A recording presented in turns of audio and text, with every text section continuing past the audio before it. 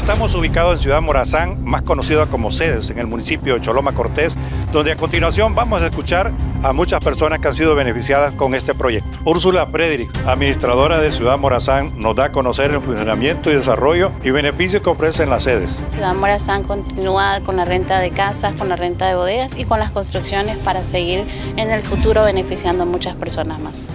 ¿Qué es Ciudad Morazán? Es una zona de desarrollo y empleo económico. Significa que usted, una persona puede vivir aquí en el proyecto y en un futuro, un futuro hasta puede tener lo que es un empleo aquí mismo. Ejemplo, soy yo, comencé como una residente en el proyecto y en ese momento soy la administradora del mismo. ¿Cuántas construcciones de viviendas entre bodegas y otros servicios ustedes van a brindar?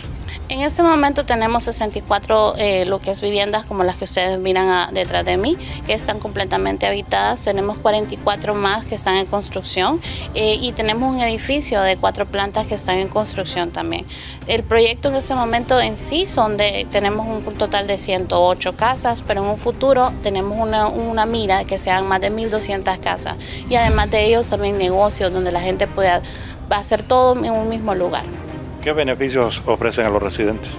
Tenemos que por 3.500 lempiras, que es lo que cuesta la renta de una casa de las que miran detrás de mí, con dos habitaciones, con su propio patio, con lo que es agua potable, con energía y además tiene lo que es mantenimiento, que si ustedes necesitan lo que es un mantenimiento dentro de la casa, la estructura se le hace, mantenimiento de las áreas verdes y lo que es muy muy importante en un municipio como Choloma, seguridad. Tenemos seguridad desde el momento que ustedes entran al portón, cámaras, eh, cámaras de vigilancia y tenemos seguridad de los guardias que andan alrededor del perímetro. Anabel Romero nos manifiesta que la zona de empleo y desarrollo económico, SEDES, una comunidad de muchas oportunidades. Es una experiencia muy bonita, agradable porque puedo eh, eh, disfrutar de actividades de seguridad y la convivencia que tengo con los, con los residentes de aquí la comunidad.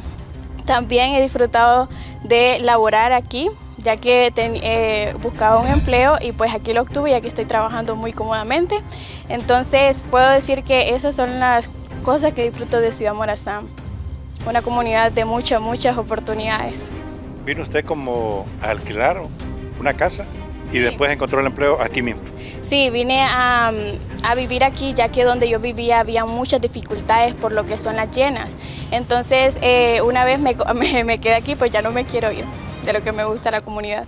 Helen Quintanilla, desplazada por las inundaciones y la inseguridad, habitantes optan por vivir en Ciudad Morazán. Vine como residente, llegué aquí porque vivía en una colonia muy conflictiva y de ahí me recurrí a, la colonia, la aldea Los Caraos, pero eh, de allá acudí aquí por las inundaciones y aquí me he quedado y aquí he emprendido desde abajo y poco a poco voy para arriba. Aquí es una colonia muy tranquila, con seguridad y paz. Luis Alberto Quintanilla, la ciudad de Morazán nos brinda a residentes una oportunidad de empleo. Tuve como seis meses como residente y hoy ya, ya estoy para dos años de estar como oficial de, de seguridad acá. Bueno, pues normal, pues me gusta vivir acá, por la seguridad de mi familia. ¿El caso de derogar este estatus de las sedes en el país eh, le preocupa? Un poco, un poco, porque de está el, el, trabajo más que todo, ¿va? y la estatus de, de mi familia.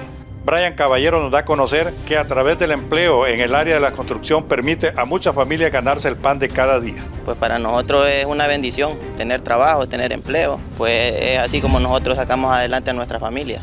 ¿Cuántas personas tiene trabajando actualmente? Eh, ahorita andamos un equipo de 30 personas, comenzamos a, desarrollar el proyecto y estamos trabajando más que todo en lo que es la cimentación del edificio, estamos construyendo 3.000 metros de, construcción, el, el, edificio es de cuatro niveles y ahorita estamos nada más haciendo el desarrollo de lo que es la cimentación del edificio. Una de las principales razones que las personas optaron por vivir en las zonas conocidas como sedes en el municipio de Choloma Cortés fueron desplazadas por las inundaciones y también el problema de inseguridad.